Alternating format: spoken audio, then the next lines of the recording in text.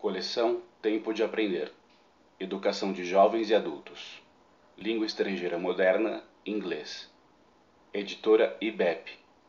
Autoras Mirtes Yamani Abi e Renata Chimin. Nono ano.